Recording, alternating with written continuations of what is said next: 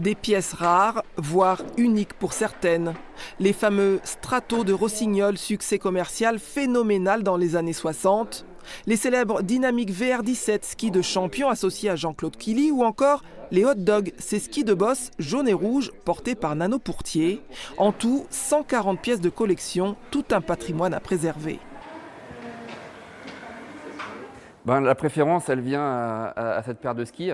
Et cette paire de skis est de l'époque d'Henri Duhamel. Et euh, on peut dire que c'est vraiment la première paire de skis qui a été utilisée en France, ici, à quelques mètres de, l'Office du tourisme de Champs-Rousse, sur les pentes euh, donc iséroises et, de la Croix de Champs-Rousse, il y a euh, plus de 142 ans maintenant. Chaque paire présentée est synonyme d'innovation, chacune en son temps. À droite de cette image, des skis norvégiens de 3,20 mètres en frêne. À ses débuts, le ski se pratiquait à plat, c'était uniquement un mode de déplacement. Les paysans de, de, par exemple, se déplaçaient avec ce type euh, on va dire, de ski, qui sont tout simplement des, euh, planches de tonneaux. Euh, ils ont fixé des, chaussures dessus et ça sert à la fois de raquettes et, de, et de ski collection de l'armée.